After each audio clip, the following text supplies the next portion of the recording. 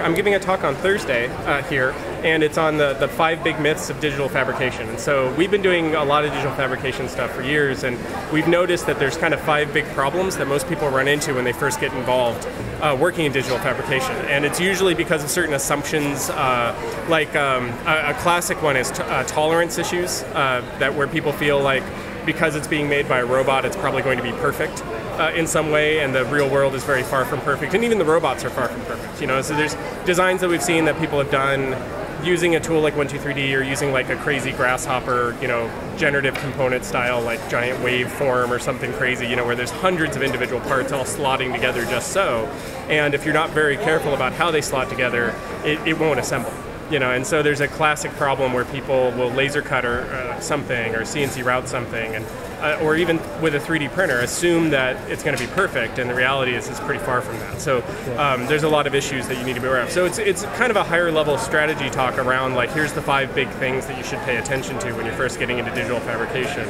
and um, and kind of the myths that are you know around that, like around 3D printing and, and other things that you know, there's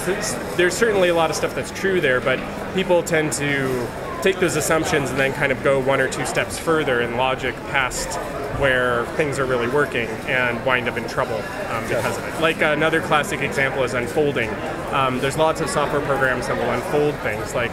123D and Rhino and such have unfolding capabilities, but they don't understand anything about K factors, right? So if you're folding metal, there's something called a K factor. So when you fold something, it gets fatter where you fold it. That actually shortens the legs a little bit of the like. So if you're folding a tab up, the tab's going to be a tiny bit shorter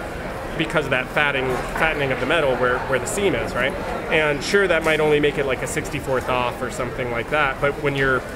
folding like, you know, two dozen panels, by the time you get to that 24th panel, you're way off of where you thought you were going to be, and, it, and so you can have cumulative errors over time. So if you're using a manufacturing tool set, something like Inventor that actually understands K-factors and are able to calculate for that, you know, and you're aware of the fact that you need that, you know, so you can run into problems where like you design something, it looks great on the computer, it works great when you laser cut it out of paper to make a prototype, but then when you make the real thing to go on like the outside of a house or a building, all of a sudden it's not working at all you know, so th- there's issues like that too. And uh, so it's just a talk going into lots of those kinds of different issues. And uh, yeah, it's going to be a lot of fun.